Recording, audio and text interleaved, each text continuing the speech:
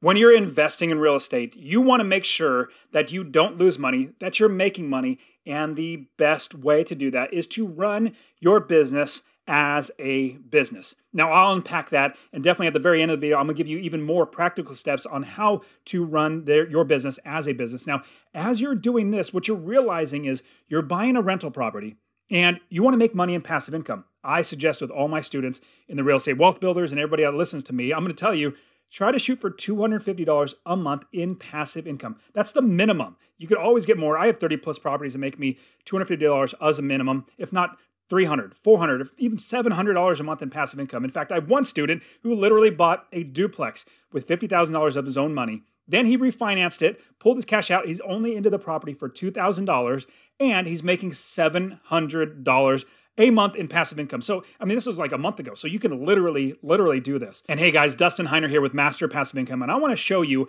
how you can quit that JOB, that just over broke job, by investing in real estate rental properties so you never, ever have to work a job again. As you are thinking about investing in real estate, the first thing that you must, must, must do before you buy any piece of property is build the business first. Now, you need to build the business first. And what that actually means is before you even buy a property or even consider buying or putting an offer, you already have your business built. Let me give you an example of what that looks like. And if you're going to start a convenience store, you're going to do it the right way by building the business first. You're not going to just open the doors and put a box of candy bars in there. What you're going to do is you're going to get the gondolas, the shelving units that are going to be where all the candy bars sit on. You're going to get the fountain machines. You're going to get the cold storage. You're going to get countertops, cash registers, employees, bank accounts all that sort of stuff. You're going to build the entire business first before, get this, before you buy any inventory or put any inventory into the business. Same thing with real estate investing.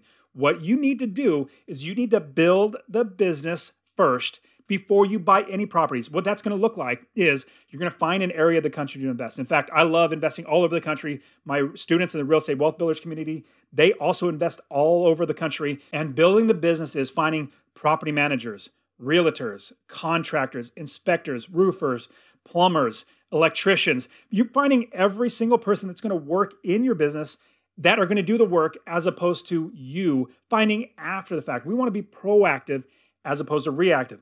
And if you're finding the right property manager, the right realtors, the right wholesalers, they're going to do the work for you and you will literally not be working. They're going to do all the work for you. And here's the great thing. You might be thinking, well, Dustin, how am I going to pay for all these people? Well, I got you covered there.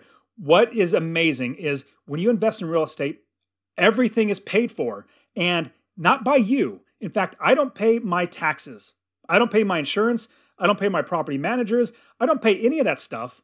My tenants pay all of that. I literally don't pay a penny out of my own money, out of my own pocket. My tenants pay it. Remember, what you do is you figure out your expenses, your property manager, your taxes, your insurance, your uh, you know other fees, HOA, all that sort of stuff. You add up all those expenses. You make sure your income, your rents are higher than that. So that difference is your passive income that you make. Like I said, always a minimum of $250 a month in passive income. Now, when you're building the business, you're going to have people that are going to help you to understand what is going right and what could potentially go wrong in your business. And I'm going to give you a huge jump start into this.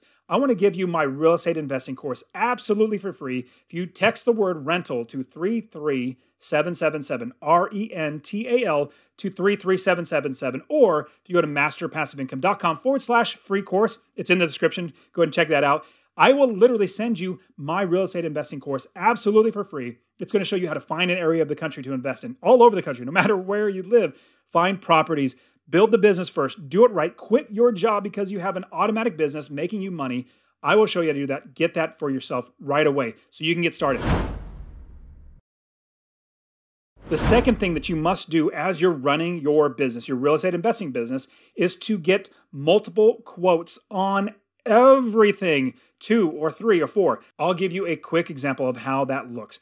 Now, if you're going to get a rehab done on a property, you buy a house, you're going to rehab it, and you have the first person come by and say, you know, it's going to cost $18,000 to fix it up. You're like, oh my goodness, that's a lot of money. I didn't think it was going to be that much. Well, you get one or two other quotes. Now, you might get somebody else to say, well, you know, it's only going to be about five or six thousand dollars to fix it up. Another person's about ten thousand dollars to fix it up. So you have a wide range. We don't just go with the lowest one. We look at everything.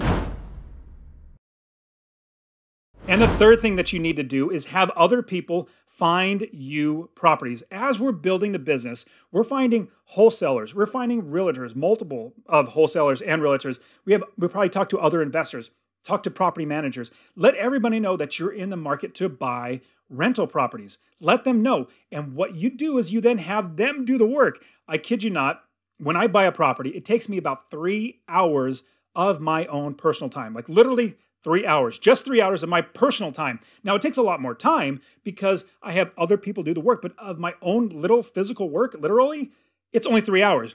I wake up in the morning, I'm drinking my coffee, I open up my email account, and I say, oh, hey, this wholesaler sent me a property. Let me check it out. Or, hey, this realtor sent me a list of properties. Let me check that one out. Or this property manager sent me a property that they are thinking about selling, or they have an investor that's selling. I get all these properties from other people. They do all the work and while I'm sleeping and I'm drinking coffee and then checking on the property and then wiring the money, signing the papers, all that sort of stuff, just two or three hours of my own personal time because I'm having other people do the work. And a huge pro tip I'm absolutely going to give you is that, and I already said this just a second ago, you must get wholesalers. I got to hammer home this point. I personally love wholesalers. I bought many properties from wholesalers. You might be thinking, well, you know, wholesaler brings me a property. I'm going to have to pay him like two or three or four thousand dollars just to get the deal. Like, well, if the deal works, if it makes you money in passive income, it hits that $250 minimum, and you're going to get capture that equity. If it's a good property, it's a good deal. What does it matter? You're already going to be paying money to a realtor or something like that. Why not buy it from a wholesaler? Wholesalers work really hard. They find the seller and the buyer and they put them together. So, what I suggest is getting wholesalers and having them do the work. That is a big pro tip I'm going to give you. And I personally keep my money in the Life Goals Home Down Payment ETF, saving your down payment at a bank yielding 0% while home prices are going up in double digits. You're getting crushed by home price inflation. Check out conservatively managed Life Goals Home Down Payment ETF. The ticker symbol is HOM.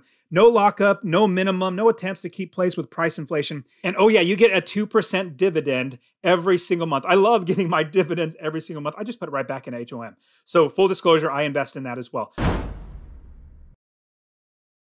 And the next thing you must do, in fact, the fourth thing that you must do is have business processes and business rules in your business. Every single one of my property managers, I tell them how to manage my properties. They might manage their properties differently for other investors, but how you manage my properties is exactly what I'm going to tell you. Now, here's I'll give you a quick example because there's many other things you've got to tell them.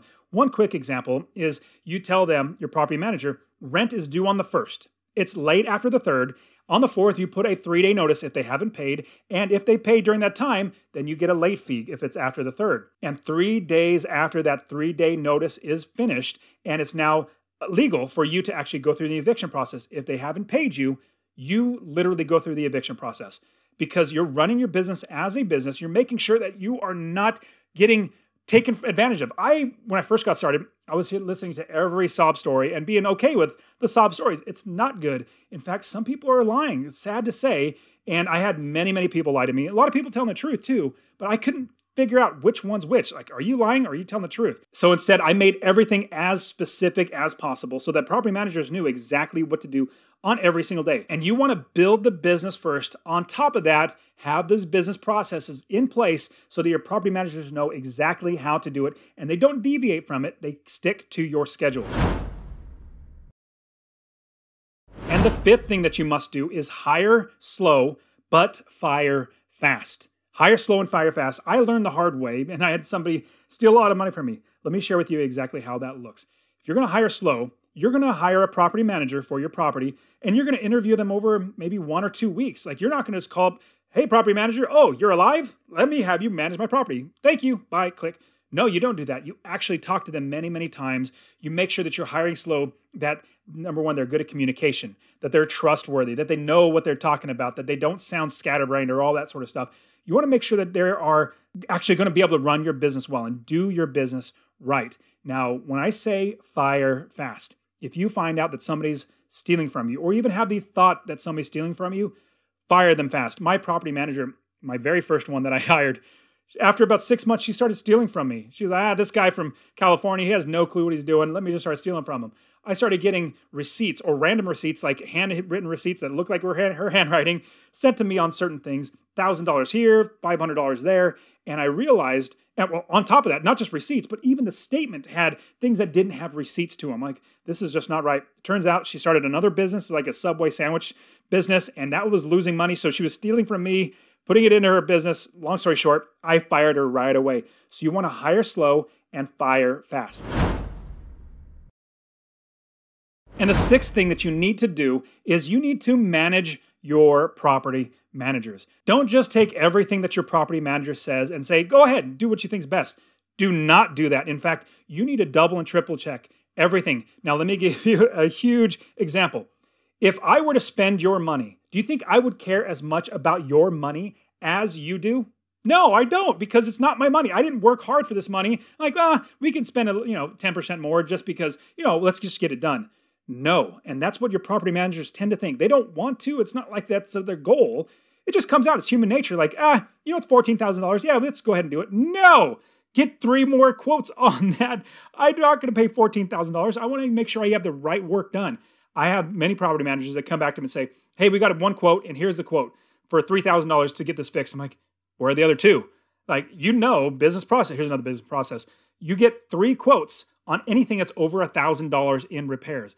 I'm not don't come to me with just one quote because I'm going to say no. Get me two other quotes so I have three total quotes so I can see how much they're going to charge, but also the scope of work. I want to make sure that they number 1 have a good price, but number 2 that the scope of work that they're not overdoing the house or they're fixing up something that they don't need to do or should not do. And as you are building your business and you're doing it right, you run your business like this, you're going to be successful. You guys, if you got anything out of this, I would appreciate if you smash that like button and also subscribe and hit the notification bell. I'm giving out so much great information on how to invest in real estate. And don't forget to watch this video right here. We'll see you in the next one.